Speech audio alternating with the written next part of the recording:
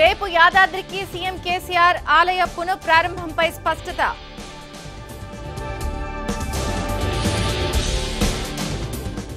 మాలో చల్లారని మంటలు CC footage పై ఆగని విమర్శలు.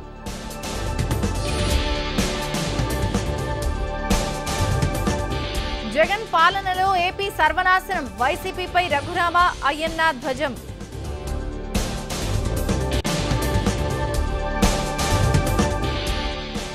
టీఆర్ఎస్ ప్లీనరీపై మంత్రి కేటీఆర్ దృష్టి రోజుకు ఇరవై నియోజకవర్గాల నేతలతో సమావేశం.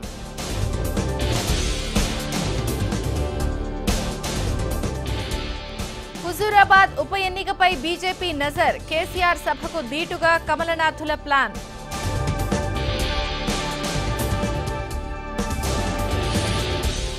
గణపతి సచ్చిదానంద ఆశ్రమానికి జగన్ స్వామివారి ఆశీర్వాదం తీసుకున్న ఏపీ సీఎం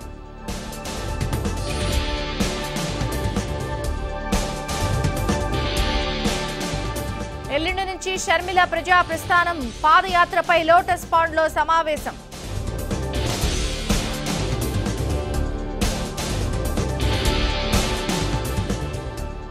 అనంతపురంలో టీడీపీ శిలాఫలకాలు ధ్వంసం పార్టీ శ్రేణులతో పరిటాల సునీత శ్రీరామ్ ధర్నా.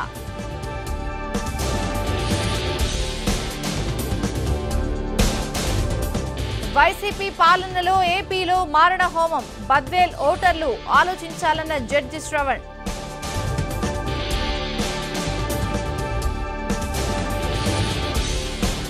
టీడీపీ అధినేత ఫోటో తొలగించిన కేసినేని. అనవసర రాద్ధాంతమని నాని వర్గం క్లారిటీ.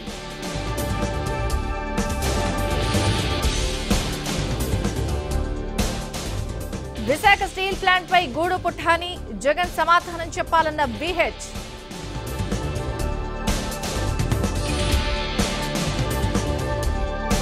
నెల్లూరు జిల్లా వైసీపీలో వర్గ విభేదాలు. ఎమ్మెల్యే మేకపాటి చంద్రశేఖర్ రెడ్డి అక్రమాలపై విమర్శలు.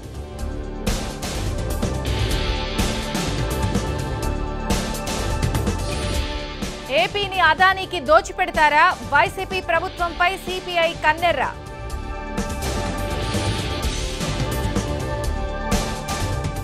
జల దిగ్బంధంలో ఇడుక్కి కొట్టాయం. ప్రమాదకర స్థాయిలో ప్రాజెక్టులకు ప్రవాహం.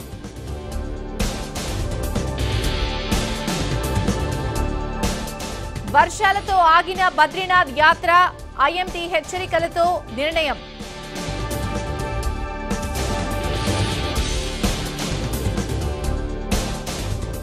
దేశవ్యాప్తంగా రైతు సంఘాల రైల్ రోకో కేంద్ర మంత్రి అజయ్ మిశ్రాపై చర్యలకు డిమాండ్.